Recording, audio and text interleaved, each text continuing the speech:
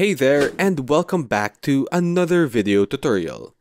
In this video, I'm going to be showing you the simplest and best way with a quick explanation of how to make a Facebook business page for beginners in 2023. So making a business page on Facebook is as simple as logging in with your Facebook account, opening up the menu on the upper right corner, and then clicking on create a page on Facebook. Now, when creating a business page on Facebook, make sure to, of course, put in the business name underneath the page name. Then choose the category or nature of your business. And of course, let's be professional here and let's add our own bio or a welcome slogan for our Facebook business page. Once you've input all that info, go ahead and click on create a page in order to move to the next step to set up our page details. From here, we can input the page website, the phone number and email for our page business, and of course, the exact location of our business if there is one. So go ahead and start filling out all the details that Facebook will be asking for when setting up your page.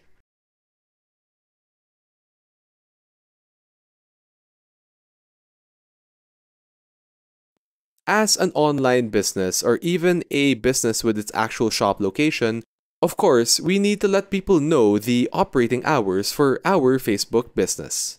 The options are to choose no hours available, or we're always open, or we're open on select hours of the day. If we choose the option open at selected hours, of course, we're going to have to choose the hours of every day that our shop or store is open on. So go ahead and input the details of when our shop will open and when it will close on each day of the week.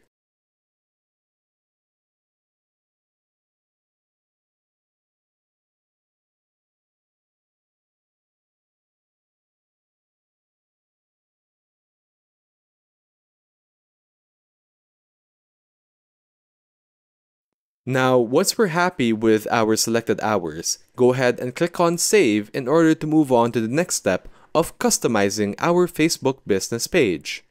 In this step, we have to add a profile picture and or a cover photo for our Facebook business. For the purposes of this video, we're making a Raven's Coffee Shop Facebook business page, so of course, our image should be related to a coffee shop. And of course, it's not complete unless we add a cover photo as well. So go ahead and upload both your profile photo and cover photo for your Facebook business page account.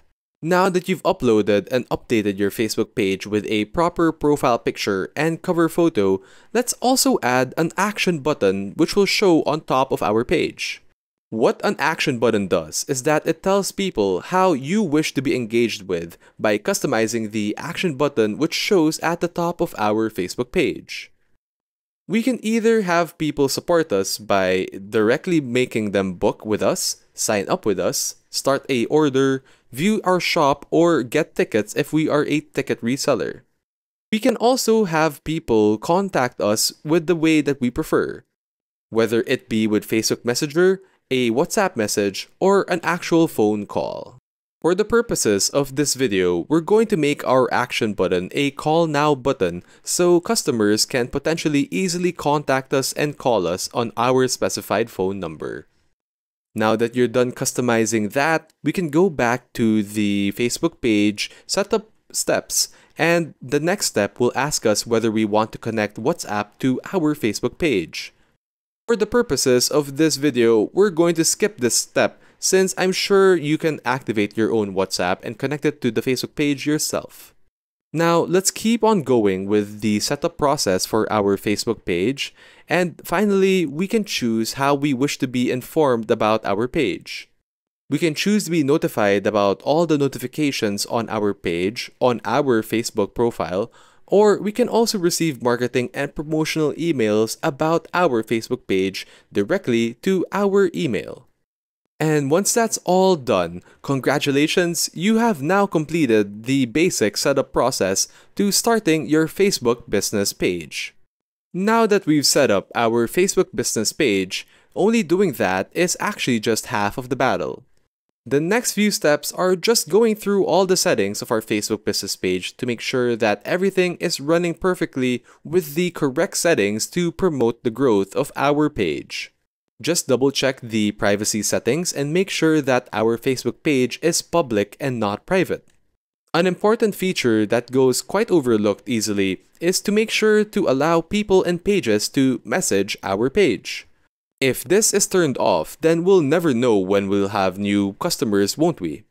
Then, you can also take a look at the Facebook page information to see a detailed list of all the information found on your Facebook page.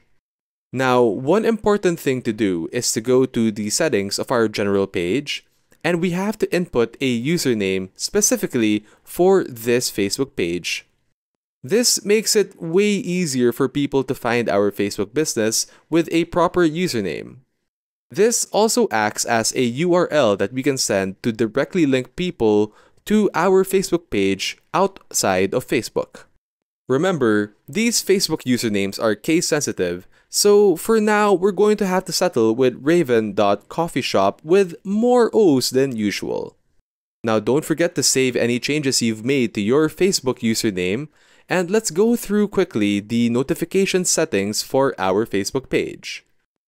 On the notification menu, as you can see, there are a ton of different options that you can go through and select to really tailor the notification experience you'll be receiving from your Facebook business account.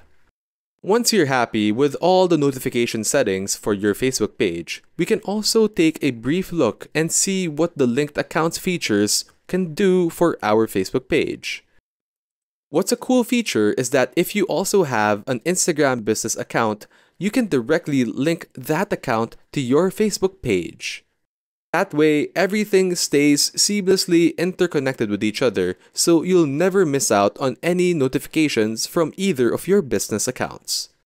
Now, after going through all those different settings, let's now explore what our Facebook business page will look like when viewed through the Meta Business Suite. As you can see, by clicking on All Tools on the left-hand sidebar menu of the Meta Business Suite, there are a ton of different tools specifically designed to help you with your business accounts under Meta, which includes Facebook and Instagram. Now, while we're here on your Meta Business Suite for your Facebook business account, I want you to go and click on the inbox on the left-hand side, and let's set up an instant reply automation system. So in order to do that, click on Inbox on the left-hand side, and then look for the button that says Set up Automated Responses. Then, underneath the Suggested for You icon, you can see the Instant Reply option. Go ahead and click on it in order to set up an instant reply to any inquiries made to your Facebook business account.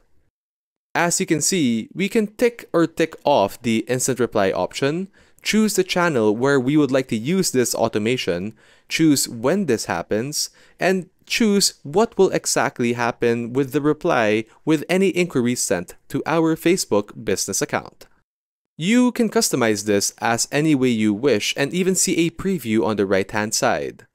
For now, let's just put a hi and thank them for contacting us and ask them how we can help them today. And of course, not only can we set up an instant reply for inquiries, we can also set up automated away messages in case we are unable to be contacted for whatever reason. And finally, let's take a look at the planner by clicking the calendar icon on the left-hand side. This way, we can use the Meta Business Suite in order to plan our marketing calendar by creating, scheduling, and managing content we wish to post. So whenever you wish to access your Meta Business Suite, just simply go to your Facebook page and click on Meta Business Suite on the left-hand side menu. There you go, congratulations, you now know how to make a Facebook business account page from scratch. It really is as simple as that, but if you have any other questions or inquiries, feel free to leave them down in a comment below. Also, don't forget to like this video and subscribe to this channel for more content just like this one. Yet again, thank you so much for watching and we'll definitely see you in the next one.